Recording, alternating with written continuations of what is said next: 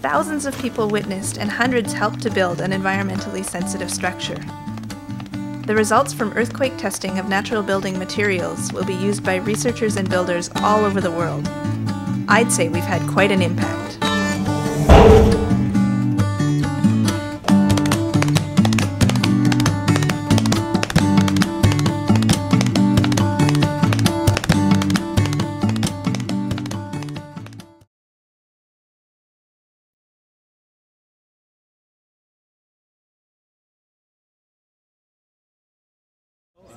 There it is.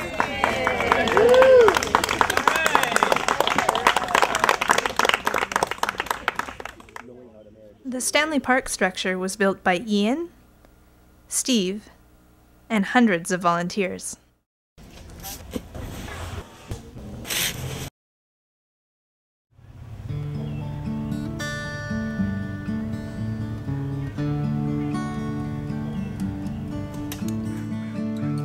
Was slow and careful, with many hands involved at every stage.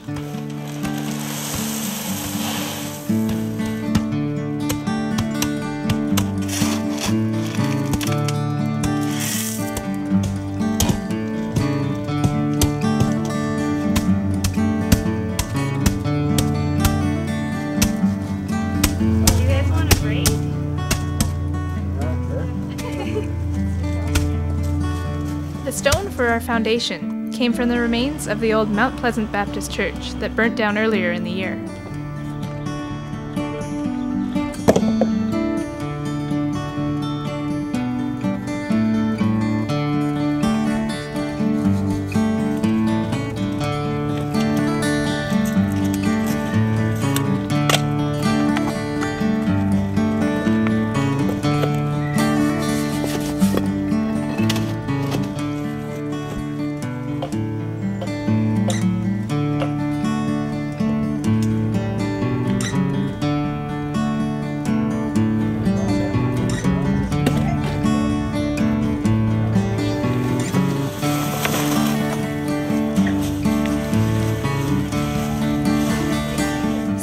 Park is the perfect place for this type of educational cob project.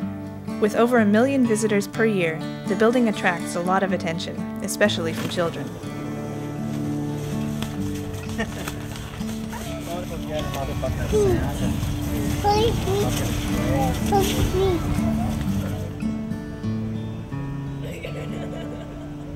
Meanwhile, at the UBC Earthquake Engineering Research Facility, the building of a half size model of the cob structure was underway.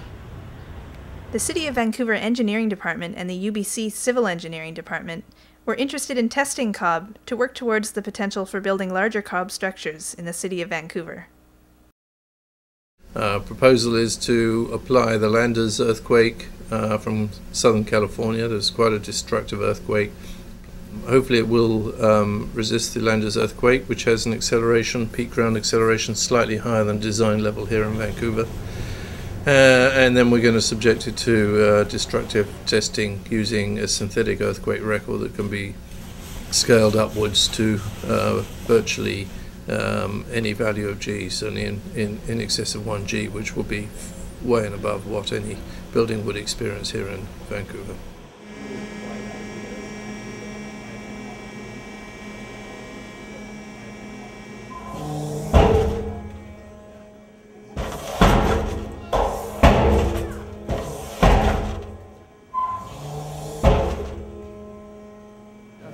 Well, we were not able to run the, the earthquakes that we wanted because there is a problem with the hydraulics on the shake table. But even though the tests showing that when we move the table and, and those impacts that were generated are very, very severe impacts, and usually those will destroy uh, uh, construction that is not properly done. And as you can see, the, the damage is very, very minimal. So, so that's satisfactory performance. It's About 10 times the acceleration you'd expect in uh, Vancouver in a typical earthquake.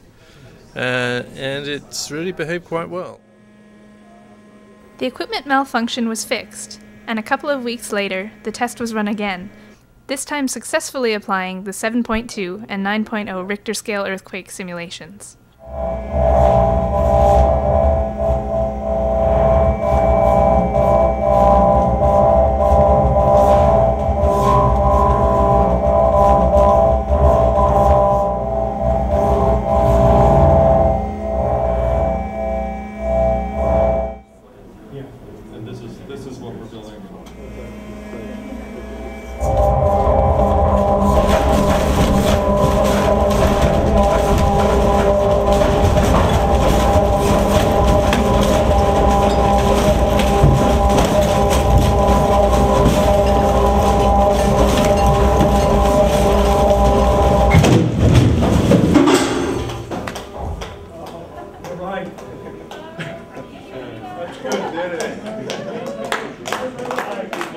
Shaking the structure up to 2 G's of acceleration and seeing that the structure didn't collapse completely gives us reassurance that at least there is enough uh, leftover capacity in the structure to maintain its own weight and not collapse on top of people.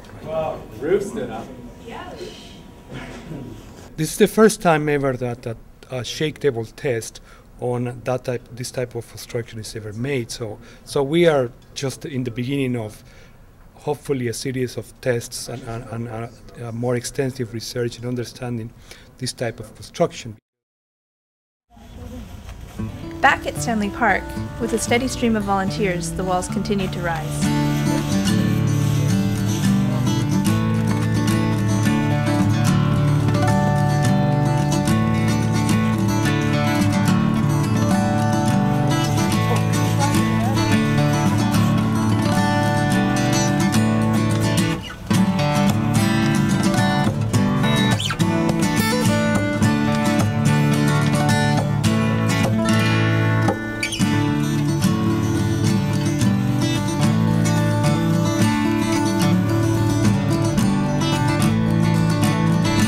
All of the wood used in the construction was either reclaimed from old buildings or sustainably harvested.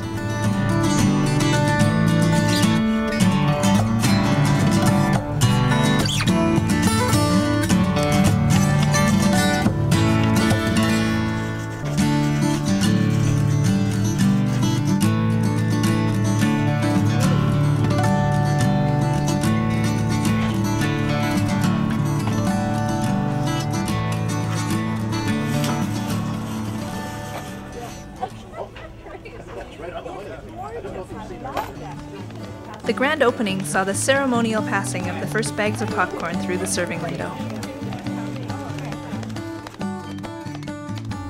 In addition to the natural materials of clay, sand, and straw, we've used reclaimed stone and wood to create this permanent addition to the landscape of Stanley Park. A team of youth from the Environmental Youth Alliance have partnered with hundreds of community volunteers and worked through the summer and into the fall to create this building. The results of earthquake testing will encourage builders and researchers from around the globe. Thousands of people have been exposed to sustainable building technology, and future generations will continue to be inspired and intrigued by the Stanley Park Ecology Society's Cob popcorn stand. All in all, a summer of great creative impact.